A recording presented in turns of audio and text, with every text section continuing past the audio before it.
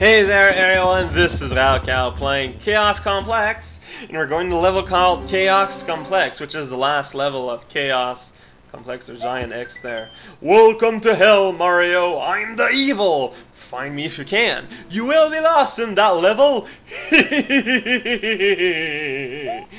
yeah, this level is actually kind of annoying, and if you don't mind me breaking the fourth wall just for a second there, you know how parody usually has a very thin line where what it is you're parodying kind of becomes what you're parodying, you know? This level threads that line a bit too close for comfort. Ye well, if you've seen the original LP, you'll see why. If not, well, you'll see why. Regardless. So, yeah, um... This is not a fun level. Yeah, you need to fall here. Good luck. Because there's cranberry sauce in the bottom. That's it. This is the very, very, very, very, very not fun bit. Starring Mario in the role of Mario. It's the great stone block maze. It's, uh, it's, it's something. Alright, as you can see, it's just a ton of X's put one over the other constantly and over again. That's the door I want to go in at the end. It's the only out of this maze. It's pretty amazing, really. A maze with only a one exit, I know. when I heard about that particular concept, I was like, holy freaking hell, are you serious? A maze with one exit? What? That's inhuman. But I mean, I was like, of course it's inhuman. It's it's a maze. a person is not a maze unless you're a dungeon man, I guess. But th that that is a faraway legend, and legends are not true. Legends are stories that you tell your kids because they're too dumb to tell. It's not true. not too sure where that came from. There. Oh freaking god! I took a wrong turn somewhere. Okay, so where did I take that wrong turn? I am not too sure. I think it's over here. I think it's over here. I don't know, I'm not too sure.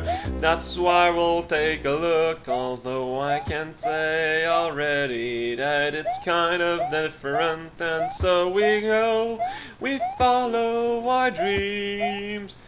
By which I mean we kind of go upward-ish in this great stone beehive that doesn't look like it would smell any different than a regular cave, although it has slightly boiling-ish looking animation in the background.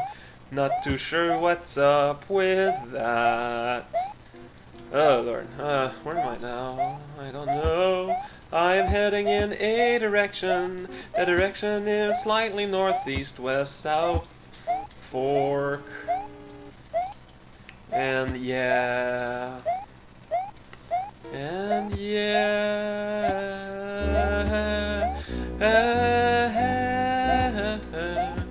Um, will this end eventually? I mean, this is kind of not the greatest level ever. Just putting that out there. Finally, freaking god. Oh, even I couldn't keep up with the charade now.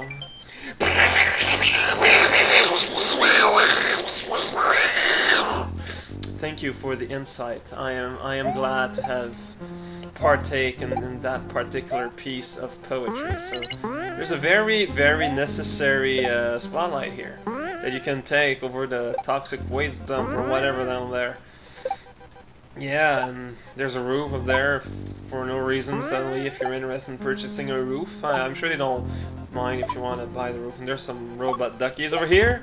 There's a door, and it leads to good old Freaky Bowser. That's not changed in the slightest. It's the same old guy with a shell on his back, and he throws those duckies away. This game was made between um, Second Reality Project 1 and 2, so I'm thinking that a lot of the coding and stuff knowledge that now hackers have, like, didn't exist back then.